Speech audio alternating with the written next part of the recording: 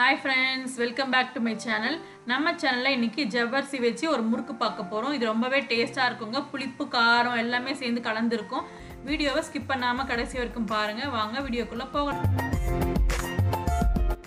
எப்படி செய்யறதுன்னு பார்க்கலாம் வாங்க. ஃபர்ஸ்ட் வந்து ஒரு கால் கப் ஜவ்வரிசி எடுத்து நல்லா வாஷ் பண்ணி புளிச்ச மோர்ல ஊற வச்சுக்கோங்க. எப்- எந்த அளவு ஊறணும்னா நீங்க கையில பிசைஞ்சு பார்த்தா நல்லா சாஃப்டா இருக்கணும் ஜவ்வரிசி. அந்த அளவு ஊற வைக்கணும். தயிருக்கு மெஷர்மெண்ட் கிடையாது. ஜவ்வரிசிக்கு மட்டும் கால் கப் ஜவ்வரிசி எடுத்து முழுகிற வரைக்கும் ஊற வச்சுக்கோங்க.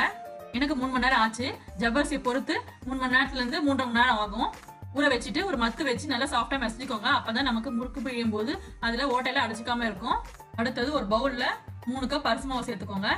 கடையில வாங்கினா சரி வீட்டுல இருந்தாலும் சரி அரிசி மாவு சேர்த்துக்கோங்க. அடுத்து ஒரு ஸ்பூன் சில்லி பவுடர் உங்க தேவைக்கு ஏற்ற மாதிரி போட்டுக்கோங்க. நான் கட்டி பெருங்காயம் தண்ணியில ஊற வச்சிருக்கேன். அதனால ஒரு ஸ்பூன் சேர்த்துக்கிறேன். அப்படி இல்லைன்னா பவுடர் சேர்த்துக்கோங்க. ஒரு ஸ்பூன் வெள்ளை எள்ளு வெள்ளை எள்ளு இல்லைன்னா கருப்பு எள்ளு கூட சேர்த்துக்கோங்க. தேவையான உப்பு சேர்த்து ட்ரையாக மிக்ஸ் பண்ணிக்கோங்க.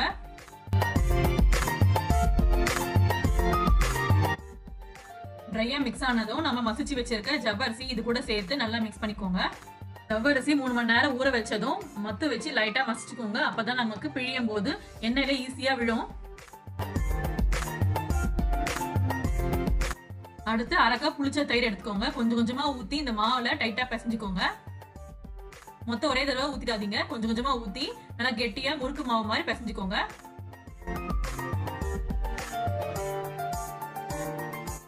புளிச்ச தயிர் ஊத்தி மிக்ஸ் பண்ணிட்டு இருக்கும் போதே ஒரு டேபிள் ஸ்பூன் அளவு சூடான எண்ணெய் ஊத்தி நல்லா மிக்ஸ் பண்ணிக்கோங்க. எந்த அளவு புளிச்ச தயிர் ஊத்துறீங்களோ அந்த அளவு உங்களுக்கு முறுக்கு நல்லா புளிப்பா இருக்கும். இப்ப புளிப்பு வேண்டாம் கொஞ்சமா லைட்டா புளிப்பு இருந்தா போதும் எனக்கு அப்படின்னு சொல்றவங்களுக்கு கொஞ்சமா இதுல தண்ணி மிக்ஸ் பண்ணிட்டு தயிர் மாதிரி இல்லாம மோர் மாதிரி ஊத்தி நல்லா மிக்ஸ் பண்ணிக்கலாம். சாஃப்டா பிசைஞ்சாச்சு. பாருங்க எந்த அளவு சாஃப்டா இருக்கு. இப்போ கொஞ்சமா எடுத்து நம்ம முறுக்கு குழை எவ்வளவு பத்துமோ அவ்வளவு எடுத்து இந்த மாதிரி நீளமா செஞ்சு வச்சுட்டீங்கன்னா உங்க முறுக்கு பிழியும் போது டக்கு டக்குன்னு எடுத்து ஈஸியா பிழிஞ்சிடலாம். நான் முறுக்கு அச்சுல இந்த மாதிரி ஒரே ஒரு ஸ்டார் இருக்கிறது எடுத்திருக்கேன். இந்த மாதிரி நீங்க மூணு ஸ்டார் இருந்தாலுமே நீங்க எது வேணாலும் எடுத்துக்கலாம். முறுக்கு மாவு சேர்க்கறதுக்கு முன்னாடி முறுக்கு குழாய் நல்லா எண்ணெய் வச்சு அப்ளை பண்ணிட்டீங்கன்னா மாவெல்லாம் ஒட்டாம இருக்கும். முறுக்கு குழாய் ரெடி ஆயிடுச்சு. கடாயில என்ன சூடானதும் மீடியம் ஃப்ளேம்ல வச்சு நம்ம முறுக்கு பிழிஞ்சிடலாம். ஜவ்வரிசி சேர்த்ததால உதிரி உதிரியா வரும். பிழியும் போது சூடு கையில தெரிக்கும் பத்திரமா பிழியணும்.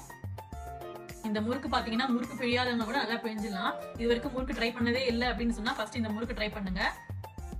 ரொம்ப ஈஸியான மெத்தட் தான். நம்ம ஜவ்வரிசி சேர்த்ததால ஜவ்வரிசி அங்கங்க பொங்கி வெள்ளையா நல்லா வந்துட்டு பாருங்க. பிகினர்ஸ் எப்பவுமே ஒரு பேட்ச் முறுக்கு பிழிஞ்சதும் அதை டேஸ்ட் பண்ணி பார்த்துட்டு உப்பு காரம் பத்தலைன்னா செகண்ட் பேட்ச் போடும்போது சரி செஞ்சுட்டு போடுங்க.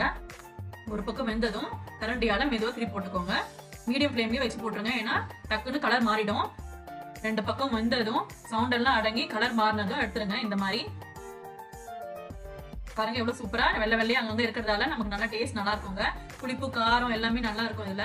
ஜவ்வரிசி மட்டும் மூணு மணி நேரம் ஊற வச்சுட்டா சீக்கிரமா செஞ்சிடலாம். எந்த ஒரு கஷ்டமான மெத்தட் கிடையாது. ரொம்ப ஈஸியான மெத்தட் நம்ம செஞ்சிருக்கோம். இந்த தீபாவளிக்கு நீங்களும் இந்த ரெசிபியை ட்ரை பண்ணி பார்த்துட்டு உங்க எக்ஸ்பீரியன்ஸை கமெண்ட் செக்ஷன்ல ஷேர் பண்ணுங்க. இந்த ரெசிபி ரொம்பவே உங்களுக்கு யூஸ்ஃபுல்லா இருந்திருக்கும்னு நினைக்கிறேன். யூஸ்ஃபுல்லா இருந்துச்சுன்னு நினைச்சீங்கன்னா லைக் பண்ணுங்க. மறக்காம நம்ம எஸ்கேசி சேனலுக்கு சப்ஸ்கிரைப் பண்ணிக்கோங்க. எல்லாருக்கும் ஹாப்பி தீபாவளி.